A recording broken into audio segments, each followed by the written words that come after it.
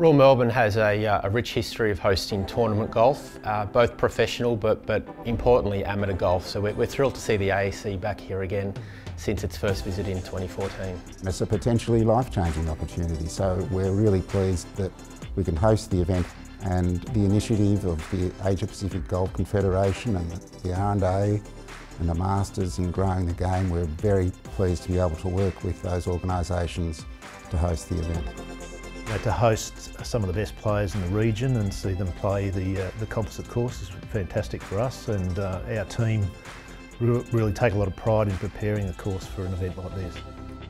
Royal Melbourne's famed for its natural beauty. Uh, the seasonality of the weather in Melbourne will dictate how the golf course looks and plays. Yeah, I think you've got to be able to, uh, to, to, work your way around landing the ball short of the greens and front half of the greens. Certainly going to be very firm out there. Uh, not a super long championship golf course, plenty of width, uh, but some strategic bunkers and also very hard and fast greens. The West Course was designed by Mackenzie in 1926 and his partner Alec Russell designed the East Course in 1928.